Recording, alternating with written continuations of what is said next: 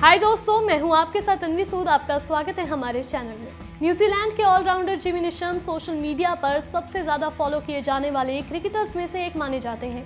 उनका चाम ही कुछ ऐसा है कि लड़कियों को दीवाना ही कर देता है। वहीं हाल ही में पाकिस्तान की टीवी एक्ट्रेस सहर शिनवारी ने जिमी के एक ट्वीट पर कमेंट करके कुछ ऐसी बात बोल दी, जिसे सुनकर आप भी हक्के बक्के रह जाएँगे। सहर ने लिखा कि, क्या आप मेरे भविष्य में होने वाले बच्चों के पिता बनना चाहोगे?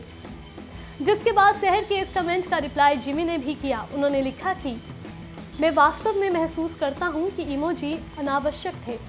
यानी साफ़ साफ़ जिमी ने मैडम शनवारी का दिल तोड़ दिया है और उनका ये प्रपोजल भी रिजेक्ट कर दिया है। उन्होंने पूरे ट्वीट में सिर्फ़ इमोजी को लेकर बात की है।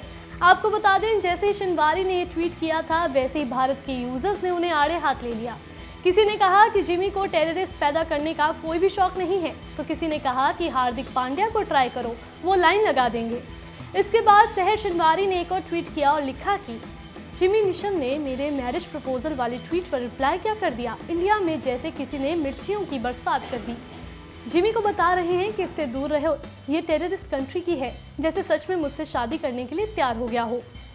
आपको बता दें, जिमी अपने बेहतरीन खेल के लिए तो जाने ही जाते हैं। इसके साथ ही वो अपने मजाकिया ट्वीट्स की वजह से भी सुर्खियों में बने रहते हैं।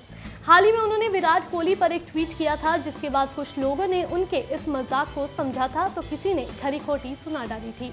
वैसे आपको हमारी स्टोरी कैसी लगी, हमें कमेंट करके ज़रूर बताएँ, और स्पोर्ट्स से जुड़ी खबरों को जानने के लिए आप हमारे साथ बने रहिए।